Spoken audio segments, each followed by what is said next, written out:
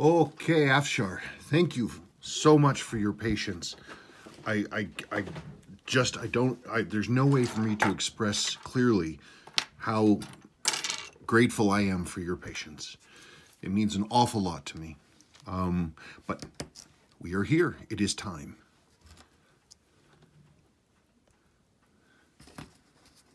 So, 6117, 6400, silver, silver, original. Case has some wear, but it is, this is entirely original. That's the bunny.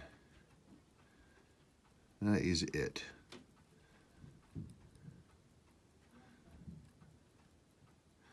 Moscow, London, GMT. That's that funny. Yeah. Cool. All right. Well, as with all of the watches at this stage, it's been a long time since I looked inside. Okay, we er, we got a little bit of rust going on. Okay, hang on just one second. Oops.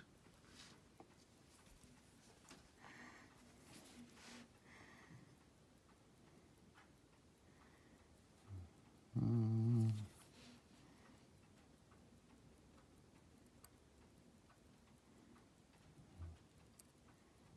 I think you got a little bit of pitting inside this case back, not a lot. I've certainly seen worse.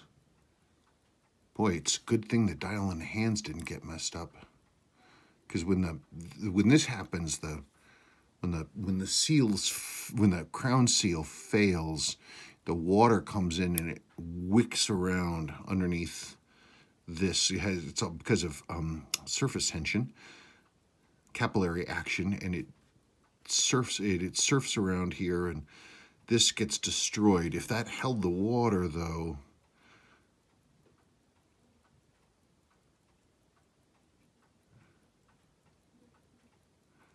usual lower mainspring arbor issues. Okay.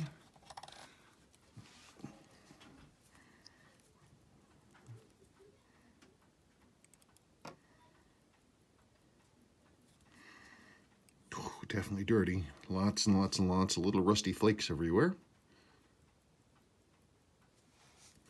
Hang on, which one second. Gosh darn it, Milo. Milo everywhere. Ridiculous. He shouldn't even be in here. Okay.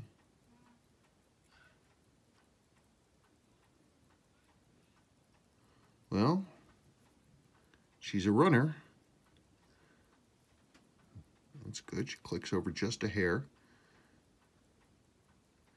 Okay, well, let me see about getting this movement ring out because it seems like it's pretty well stuck in there. Hang on. Yeah, it is. Come on, get out. Out. Okay, let me pause. Yeah, usual. Usual thing.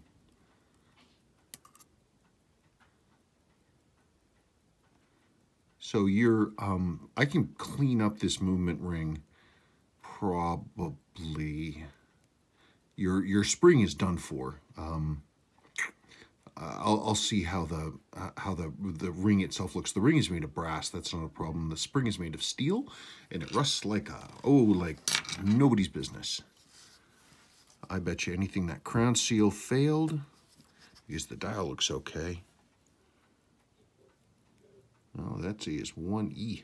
Yep, absolutely. You can see the you can see the rust in there. It's not completely seized up. That's a good thing.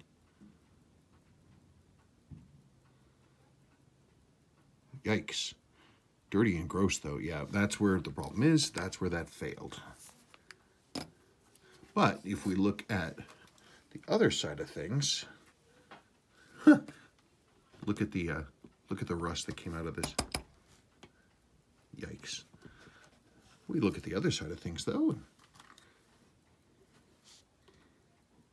You got a little bit of patina on the hands there. Dial looks okay. I'll do my best to clean that up. That darkness in the hand lume is going to stay. Not sure about the dial. Ah, Ah, there, isn't that nice? Okay. Well, we know it runs a little bit. Uh, we know the dial and the hands are pretty decent, so that's good. Um, I will look and see if I have a better handset, I'll suggest that, but I need to dig through my supplies and see. Uh, let me get this case apart and get things get things rolling. Okay, so the way that the indicator rings on these, the city rings work, is you've got this metal piece here, which you can see has some corrosion on it, but not bad. But it sits on top of, but is not bonded to this. This is the, the actual teethy gear ring thingy. Uh, this one, this sometimes happens. You can see we've got some damage to the teeth here. I'll do my best to clean it up. That's not really going to be better, uh, and I'm certain that I do not have a replacement wheel, but I'm going to clean this up and we'll see how it behaves once that's done. Okay, so here we go. This is the front of these. These uh, these world times, the way that they're set up, um, it's it's easier to build it backwards, basically, to go through the other way because these it's not fixed in place like the the date guard for a, like a 6105 or something holds everything in place. This does not. It's just free floating, which is why they use the old school um, warpy spring washer there. Let's see, all this stuff just comes right off. It's dirty, but I mean, thankfully no no water got in here, which is nice. Okay, let me pull this. Again, we got uh, we got pretty lucky, pretty lucky. A lot of times when water gets into the crown, it, it, what it will also do is it'll wick up and and get underneath like the setting lever and everything that's here all of the the all of the material that's here a lot of which is unique to this mod to this movement type um, and it'll just eat the stuff alive. So we're very very fortunate. Uh, it looks like we've only got little flakes and flicks here and that is truly dodging a bullet so good news so, so far, again, it's we got real lucky. You can see things are hazy, but like it's not real dirty. Like I haven't cleaned this at all. Look at the look at the the shine on the lower on the upper mainspring arbor. Look at that. That is not something I see very often. I don't think this watch had a lot of miles on it. I mean, the case is certainly worn, but the rest of it doesn't look bad. Uh, your lower mainspring arbor port, though, is worn. We can see the brassing around the edge, but you know, that's real typical, as we all know. But so far, I have not seen any any serious moisture intrusion, like at all. Very, very fortunate, because it could have been, this could have been real bad.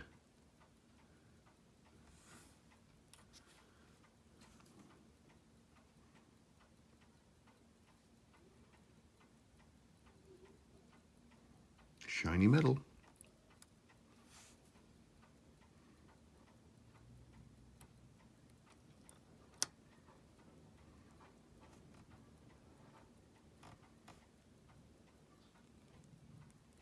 Hmm.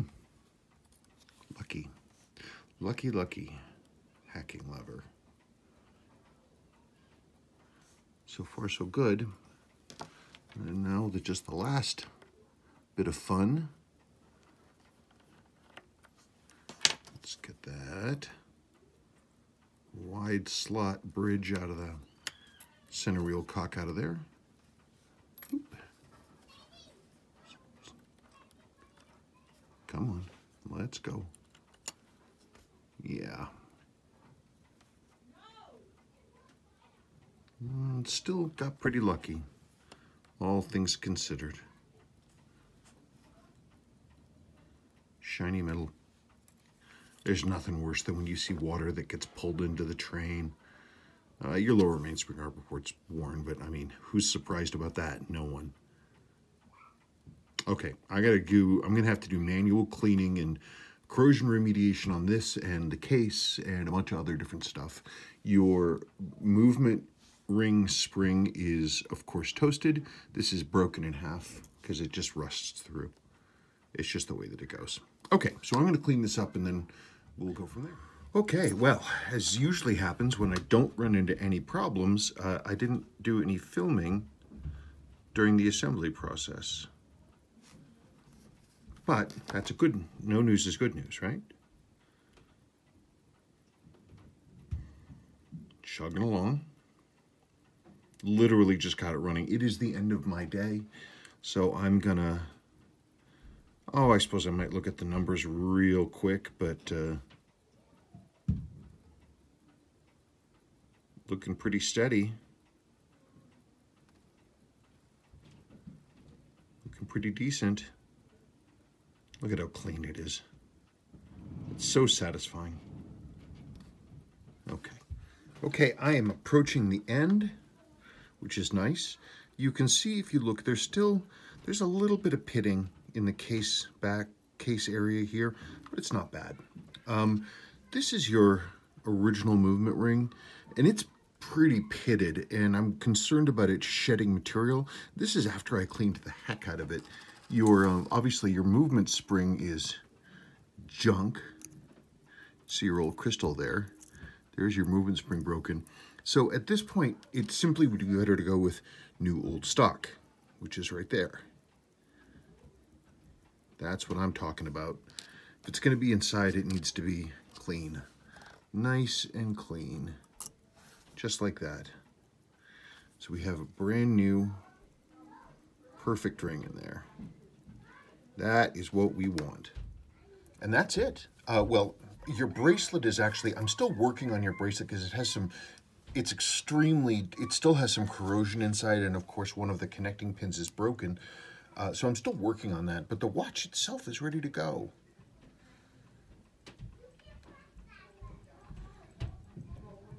It's so nice when these get all cleaned up and everything. There's your new crystal and all that other kind of stuff.